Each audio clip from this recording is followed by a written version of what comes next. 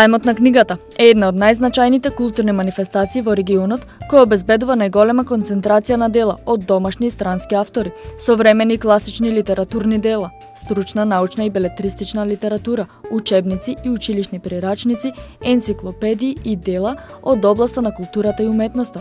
Десеттиот поред сајам на книгата започна денес и на истиот учествуваат 20 на издавачки куки. Несомнено, истите ќе истакнат моќта на книжевните дела како суштински фактор за културното творештво на секој народ.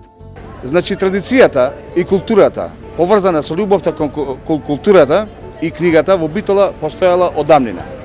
Самиот факт дека првата османска библиотека е отворена точно во Битола во 1452 година и фактот што пред 153 години е отворено првото читалиште во Битола ја потврдува традицијата и културата на овој град. Тоа се потврдува и денес. Што сакам да кажам?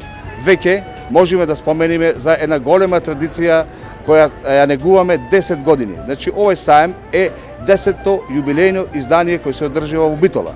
На денешниот саем учествуваат околу 20 издавачи, кои 20 издавачи, ако кои се береме вкупниот број на наслови на книги, бизнесувале некаде околу 2000 наслови на книги или околу 20.000 книги. А изда, издавачите имаат осет и сенс и затоа доаѓаат во Битола, затоа што продажбата на книги во Битола е, е на задоволително ниво и сето она што го нуди Скопскиот сајм во една помала форма го нудиме и ние на денешниот сајм со голем попуст на книги до 70%. На сајмот на книгата на едно место се представуваат најголемите домашни издавачи, но и издавачи од регионот. Истиот ќе трае до 9 јуни.